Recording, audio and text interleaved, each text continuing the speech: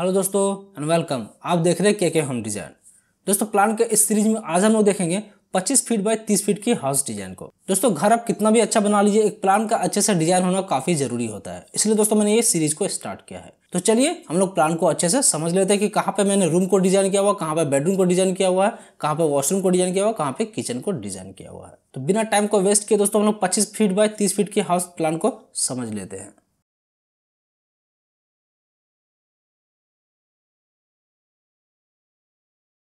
तो ये रहा दोस्तों आपका ग्राउंड फ्लोर अब चाहे तो इस फ्लोर को टिपिकल बना सकते हैं। First floor second floor third floor भी बना सकते हैं। ग्राउंड फ्लोर दोस्तों सबसे पहले आपको मेन इंटरेस्ट मिल जाती है घर की, जिस जो कि आपका सिर्फ़ पाँच फीट का रहेगा।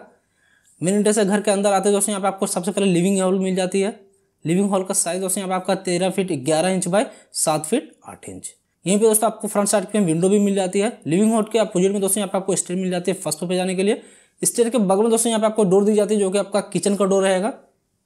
इस किचन का साइज़ दोस्तों यहाँ पे आपका आठ फीट तीन इंच बाय आठ फीट दो इंच इस किचन का विंडो दोस्तों यहाँ पे आपका लेफ़्ट साइड की ओर कर सकते हैं। किचन के अपोजिट में दोस्तों यहाँ पे आपको एक डोर दी जाएगी, जो कि आपका वॉशरूम का डोर रहेगा कॉमन वॉशरूम का।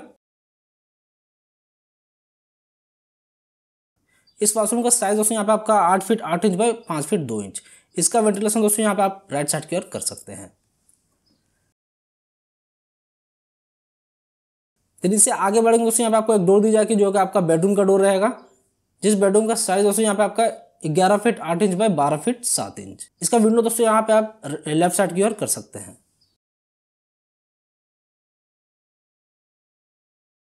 देन इसी के बगल में दोस्तों आपको एक और डोर दी जाएगी जो कि आपका मास्टर बेडरूम का डोर रहेगा।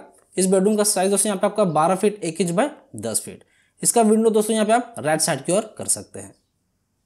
कहाँ पे दोस्तों आपको विंडो ओपन करना कहाँ पर बेडरूम है, सभी चीज़ मैंने अच्छे से दिखा दिया है। देन जैसा कि मैंने कहा दोस्तों आपका मास्टर बेडरूम यहाँ पे आपको डोर दी जाती है टॉयलेट की। जिस टॉयलेट का साइज़ दोस्तों, यहाँ पे आपका आठ फीट तीन इंच बाय पाँच फीट दो इंच इस टॉयलेट का भी वेंटिलेशन दोस्तों, यहाँ पर आप राइट साइड की ओर कर सकते हैं। तो ये आपका ओवरऑल प्लान दोस्तों, पच्चीस बाय तीस फीट का।